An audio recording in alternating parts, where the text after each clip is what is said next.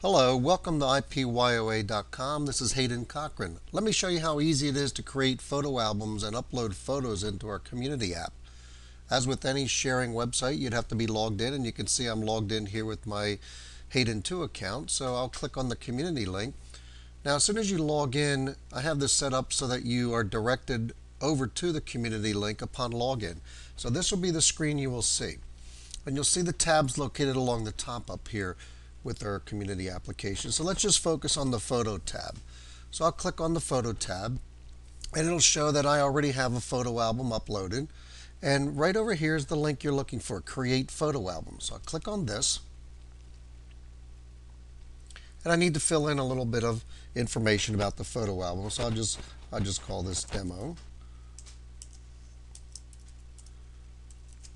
Location is going to be New York City and I'll just have IPs and all right now once I fill in a little bit of information about the album I can decide on who can see this.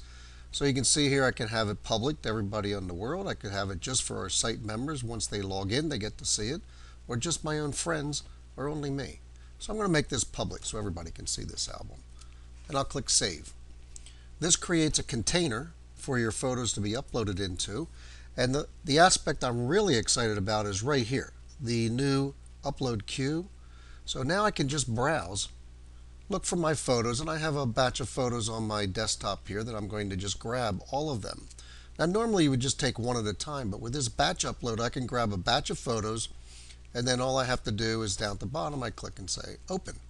And it puts them into the queue and begins to upload them into this photo album automatically. What is really exciting about this is it makes the thumbnail for us automatically. It, it, it, it resizes the image and resamples it down to fit into the window that we're working within. And you can see the photo album is being created and you can see the queue is coming up through here as we are simply working down through this. It's amazing. So uh, that's what it looks like. I'll let this finish here in a minute. And I'm uploading 15 out, 15 photos uh, basically the same as what I would upload into iphotos.com, but this is so much easier and so much better. So now you can see the uh, photos have been uploaded. It says 12 files have been uploaded.